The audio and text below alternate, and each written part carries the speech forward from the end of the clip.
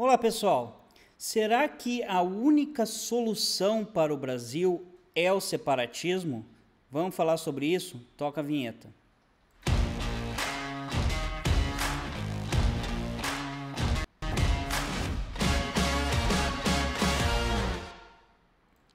Olá pessoal, meu nome é Carlos Schreier, mais conhecido como Brasileiro Sem Fronteiras. Aqui nós falamos sobre internacionalização e tudo que tem a ver com a teoria das bandeiras, residência por domicílio, residência fiscal, segunda cidadania, abertura de empresa offshore, abertura de conta bancária no exterior, investimentos no exterior e por aí vai. Hoje nós vamos falar sobre separatismo e será que é realmente a única solução para o Brasil? Bom, particularmente eu acredito muito mais em pequenos países. Muito pela, pela melhor organização, pela facilidade de fazer negócios. É, pequenos países precisam abrir suas economias, precisam das isenções de impostos. Normalmente, pequenos países têm é, taxação territorial. Então, eu acredito que se o Brasil é, permitisse, pela Constituição não permite, tá? É, que os seus é, cidadãos pudessem escolher é, se pudessem escolher se vão se separar, se os estados fossem separados, eu acredito que o Brasil acabaria, tá? Eu acredito que o Brasil acabaria e a gente nem está falando aqui, porque tem muita gente que acredita que separatismo é em cima de etnias, é xenofobia e religião. Não é isso que eu estou falando, tá? Eu estou falando na parte de economia e taxação de impostos e, e diferenças regionais, principalmente geográficas, tá? É, por quê? Porque o Brasil era para ser uma federação. O Brasil era para ser uma federação e não é certo? Se o Brasil ainda fosse uma federação, como é os Estados Unidos, ou o Canadá, ou como a Suíça, e realmente funcionasse dessa forma, deixasse os estados ter autonomia, talvez não teria esse sentimento tão forte. Acontece que, por exemplo, São Paulo, tudo que, a cada real que, que, que São Paulo produz, 92 centavos vai para o governo é, federal, governo, União, né, que distribui para os outros estados, certo? Então a gente não está falando aqui é, sobre o separatismo ser sobre etnias, tá? Até porque existe um, um, movimento separatista no Nordeste que quer o Nordeste separado do resto do país. E por que isso? Será que a etnia do nordestino quer se separar do, do sulista, do gaúcho? Será isso? Ou será que é, eles sentem como uh, a região deles pode prosperar mais se eles não tiver, tiverem que, que ser taxados como união também? Será que eles não pensam da própria forma? E se for ver, tá, pessoal, pela história dos movimentos separatistas no Brasil, Pernambuco foi o que mais lutou e um dos que mais lutaram e um dos que mais sofreram com é, punições do Império, tá? Porque uh, Pernambuco teve é, o seu território diminuído por isso, certo? Pernambuco foi um dos únicos é, que teve o território diminuído. É, se, é, eu, vou, eu vou dividir aqui com vocês, tá? Aqui tem, se vocês olharem aqui, é simples, aqui o, no Wikipedia a gente pode ver. Se vocês colocarem movimentos separatistas no Brasil, vocês vão ver que, que tem aqui as histórias e tal. O movimento separatista de São Paulo, inclusive, o São Paulo já teve até um rei, né, que eles tentaram colocar, é, um rei é, descendente de, de espanhóis, na época que o, o, as duas casas, né, Portugal e Espanha tinham um rei só, o rei espanhol, e depois quando voltou o português, que por, porque o São Paulo tinha grande comércio com Buenos Aires, eles achavam que voltando o português ia acabar com esse comércio, então eles queriam colocar um rei é, espanhol em São Paulo para manter o comércio com Buenos Aires. E, e, daí o rei, esse rei, suposto rei espanhol, já desistiu e queriam matar ele porque ele desistiu, né? Mas os espanhóis, eu digo, né? Pernambuco foi um dos movimentos que mais tentaram. E se vocês olharem aqui, é, Pernambuco era tudo isso aqui, né? E perdeu depois todo o território é, por punição, justamente porque, porque tentou várias vezes, três vezes, é, a separação. Tá? A região sul, na realidade, só teve um movimento separatista que deu certo, que foi o do Uruguai. Né? A Cisplatina conseguiu realmente se separar. Mas teve Minas Gerais também, Bahia, Rio de Janeiro. E os movimentos separatistas contemporâneos, ah, nós temos aqui o Espírito Santo é o meu país, que o Espírito Santo tem esse essa vontade de separar porque tem grandes reservas de petróleo e eles não se acham, é, não, não acha justo ter que dividir isso com o Brasil. Então imagina, Espírito Santo, um pequeno estado com grandes reservas de petróleo. O Rio de Janeiro também tem reserva de petróleo, tá? E, mas também tem outros motivos para querer se, se, separar, também tem. Aí tem o grupo de estudo Avaliação Pernambuco Independente, que é ainda continua Pernambuco querendo ser separado. O Rio é o meu país, igual tá? Roraima é o meu país, também querendo ter um movimento separatista aí. São Paulo livre, pela, por causa da economia. Grupo de estudo Nordeste Independente, como eu disse aí, querer é, fazer a, a independência do Nordeste inteiro. Movimento uh, pela independência do Pampa. Os, os, os movimentos mais fortes de independência são do Sul, tá? Movimento República de São Paulo, Movimento São Paulo para os Paulistas, O Sul é o meu país e Movimento da Amazônia Independente, como se fosse criar realmente um país da Amazônia. É interessante, tá? Pegando todos os, aqueles os estados da, da Amazônia, certo? Mas é, o que ganha mesmo é o Sul é meu país, que ele já tem é, não pode, tá, pessoal? É contra a, a Constituição, não pode pegar armas e, e, e, tentar fazer a separação, mas você po não pode fazer um plebiscito também oficial. É, porém, você pode sim dar sua opinião, e é aqui o que, que eu estou dando. Eu acho que se esses estados todos conseguissem tá, dar o direito ao povo de decidir oficialmente, o que não tem como, tá, pessoal? Não tem, a Constituição não permite, e aquela corja né, de políticos lá que não representam realmente o povo, nunca iria permitir, tá? Porque daí eles não iam concentrar todo aquele dinheiro, todo aquele poder, tá? Mas eles, é, eles seriam muito mais cobrados localmente, tá? Se cada capital fosse mais perto do povo, tá? E não tão longe. O Brasil, é, ele se formou através de um império, né? E o império ele não é liberal, tá, pessoal? Por mais que até o, o começo do, do Dom Pedro II tentou fazer uma, uma monarquia ali mais liberal, é, não funciona, pessoal. É, Para um país ser mais liberal, a tendência é que ele seja pequeno, que ele consiga fazer negociações bilaterais, tá? E o, Uruguai foi um dos que conseguiu, certo? Só que o que trava hoje o Uruguai é o Mercosul o Mercosul trava o Uruguai como se fosse uma união, certo? O, o Mercosul é, ele tem que negociar em bloco a maior parte dos seus acordos. Ele não consegue fazer negociações é, bilaterais. Se o, se o Uruguai conseguisse, ele, ele estaria tão bem como o Panamá. Ele estaria fazendo negociações muito melhores.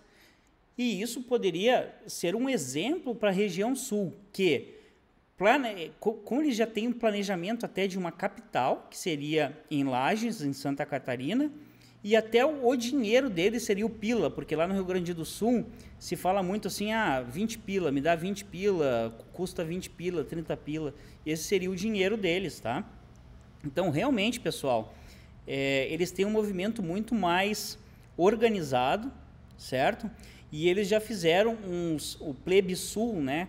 que seria os plebiscitos deles, é, um em 2016 e outro em 2017. É, em 2000, eles queriam alcançar um milhão de pessoas, mas não conseguiram. É, em 2016, eles conseguiram 590 mil votos para sim e 26 mil votos para não. Tá? Participação absoluta de 616 mil pessoas. E em 2017 eles conseguiram a, a, a, menos pessoas né, participando, foi 364, que já tinha um, um, sentimento ali de patriotismo por causa daquela da, da campanha ali do Bolsonaro e tal. Então foi menos pessoas, tá? Mas mesmo assim, olha a diferença: 350 mil para sim e 13 mil para não. Aquele período ali do Bolsonaro, eu acho que até diminuiu essa vontade do, do separatismo, tá? Mas agora eu tenho certeza que se fizessem pesquisas, e a gente não está falando de xenofobia, tá? Porque tem muita gente que confunde querer separar a região sul do Nordeste porque o Nordeste votou no PT. Não é isso. Por mais que eu sei que muita gente ia votar é, por causa disso, tá? Mas eu estou dizendo assim, ó, em termos de regiona é, regionais, o que, que tem a ver o, o, o sul do Brasil, tá? A, a, a, a, parte geográfica do Brasil, a região, tá? É, o clima com o Nordeste. Nada a ver em termos de desenvolvimento, planejamento e tudo isso. Então, ao meu ver, deveria ter muita, mas muita autonomia se tivesse uma federação, tá? E como se fosse nos Estados Unidos, os estados têm autonomia máxima, quase em tudo, tá? Como não tem, então deveria ser separado uma vez. E se você perguntar para um nordestino se o nordestino quer se separar de São Paulo e do Sul, ele vai dizer que sim, principalmente o pernambucano, tá? Mas eles têm a ideia do Nordeste separado. Como seria o Nordeste? Eles iam ficar pobres? Não.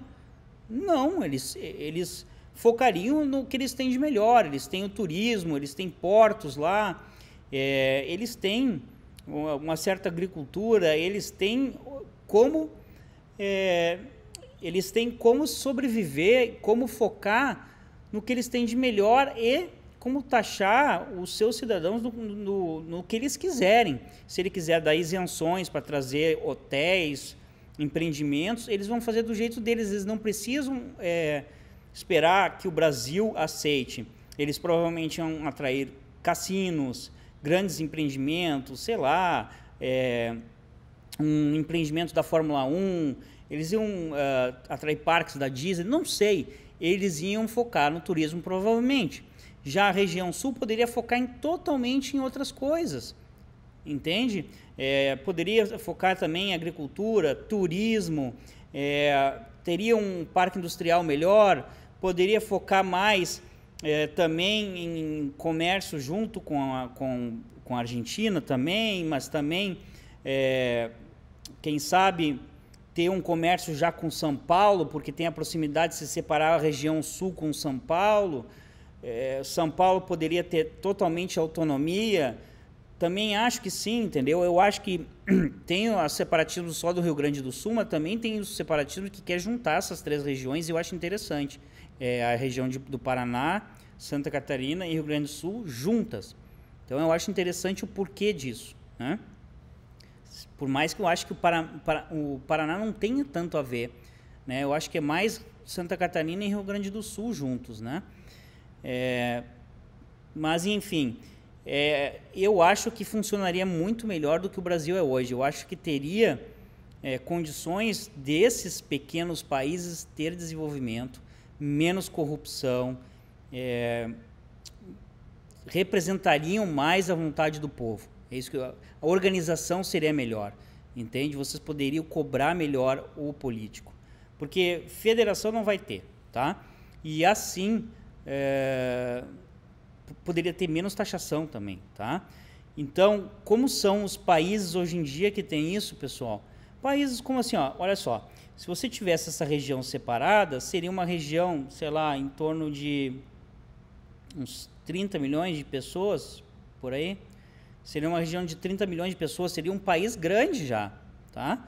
O São Paulo seria um país de 45 milhões de pessoas, então seria países maiores do que esses países pequenos, que nem o Paraguai. O Paraguai, é um país que dita, uh, e o Uruguai, ele, eles dizem assim, ah, não, aqui a nossa tributação é territorial, nós vamos dar as isenções, entendeu? Então eles teriam mais facilidade de se comunicar com esses países aqui, o Chile mesmo, ele dita as regras dele, entendeu? O Equador dita as regras dele, o Panamá é um país que consegue ditar também as regras, porque ele tem o canal do Panamá já devolvido para ele e recebe 3 bilhões de dólares só do, do canal, então ele pode taxar menos seus cidadãos. Né? Pode também taxar a, tributação territorial, que significa realmente, não sei se você sabe, né? deixa eu deixar claro aqui, que é tributar somente o que os negócios que são dentro do país. Então, se você faz negócios para fora, você não é tributado. Né? Então, é, eu acredito que, por exemplo, Panamá e Costa Rica são completamente diferentes. Então, se eles fossem o mesmo país, não era a mesma coisa. Então, eles sendo países diferentes e tendo essa, essa fronteira aqui, é bom para os dois. Tá? Eles, isso aqui tudo já foi um país só. Tá? O Panamá com a Colômbia já foi um país só. Entendeu? Então, essa fronteira faz bem para os países. Eu acredito que realmente o Brasil teria outra chance. Mas como eu sei que não vai acontecer e também eu sei que a União não vai permitir que vire federalismo, eu sinto muito, pessoal. Vocês têm que ter outra, é, outro plano. E para ter outro plano, é, eu sugiro é, que vocês que vocês pelo menos estudem, né? A gente tem aí o nosso curso, o plano B, para vocês é, adquirirem mais teoria, para vocês implementarem na vida de vocês é, estudos para vocês é, adquirirem uma outra residência, eu digo uma residência no Uruguai, né? Que nem eu tenho. É, eu vou, vou, mostrar aqui o, as residências quando eu botar a tela maior, mas enfim, deixa eu mostrar aqui primeiro o que tem no tem todos os modos aqui. Eu vou deixar o link no primeiro co comentário fixado e na descrição do vídeo, tá? Aqui tem todo tu, tudo que tem no curso tá nesse site. Dê uma olhada no curso, é uma assinatura anual. Vocês podem adquirir, tem sete dias para vocês testar, tá?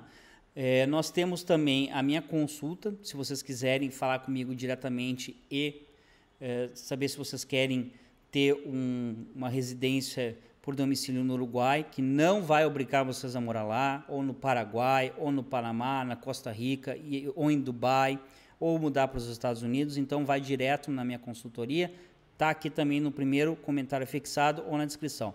Mas eu vou voltar aqui na câmera principal para mostrar para vocês uma coisa. Ó. Residência por domicílio é vocês terem a carteira de identidade de um país, o que não obriga vocês a viver lá, desde que sejam esses países que eu estou falando. Então, vocês têm o direito de chegar lá e viver quanto tempo vocês quiserem. Se vocês passarem mais de seis meses, obviamente vocês vão virar. Res... Deu uma trancada aqui no vídeo, né? Se vocês passarem mais de seis meses, você obviamente vai virar um residente fiscal, certo? E aí vocês uh, vão ter que pagar imposto lá. Mas se vocês não passarem seis meses lá, vocês vão poder é, simplesmente ter a carteira e quando vocês quiserem entrar lá, vocês vão poder. Se der algum problema com o Brasil, vocês têm a carteira de identidade e pode entrar lá. Essa é do Uruguai, tá? Eu tenho ainda a da Flórida, tá? Aí eu tenho aqui a do Deixa eu mostrar para vocês aqui. Eu tenho a do Paraguai, tá? a cédula do Paraguai, que também dá direito de viver lá. A cédula do Paraguai é diferente da cédula de, de residência, mas aquela ali é a carteira de identidade, tá? E aí a gente também te ajuda a conseguir a carteira de motorista do Paraguai. Isso é uma coisa importante que a gente faz, tá, pessoal? É o skin the game. Não adianta vocês procurarem youtubers por aí que falam: ah, eu te ajudo a conseguir a residência no Uruguai, eu te ajudo a conseguir a residência no Paraguai, eu te ajudo a ir para o Panamá, etc., se o cara não tem, entendeu? Então, eu tenho, eu consegui para mim, então eu vou conseguir para você, eu vou te ajudar, tá? Uh, carteira de motorista do Panamá, que é minha cédula de identidade de economista, né, do Brasil, né? para quem não sabe, residência do Panamá, de dois anos provisória, carteira de trabalho do Panamá, Green Card, que ainda não sei o que eu vou fazer, e aí a carteira de motorista do Brasil que todo mundo conhece. Então aqui ó, estou mostrando para vocês os documentos que vocês podem conseguir também, tá? É viável, alguns vocês vão poder morar no Brasil, outros como Green Card fica mais difícil, por isso tem que fazer essa decisão de vida. Então, também tem algumas coisas que dá para fazer, outras que não, tá? Mas enfim, a gente consegue fazer essas estratégias para vocês e o melhor jeito da gente conseguir fazer essas estratégias é vocês vir falar comigo e a gente analisar o seu caso específico e aí sim uh, discutir com vocês qual o plano que a gente vai seguir. Se vocês quiserem material para aprender sobre isso tudo, sim, vão, acesse aqui o plano B e dá uma olhada no curso ali, os, os módulos que tem e tal. Adquire o curso, faça o curso e aí vem depois falar comigo na consultoria, certo? Esse vídeo então vai ficando por aqui. Um abraço a todos e até mais.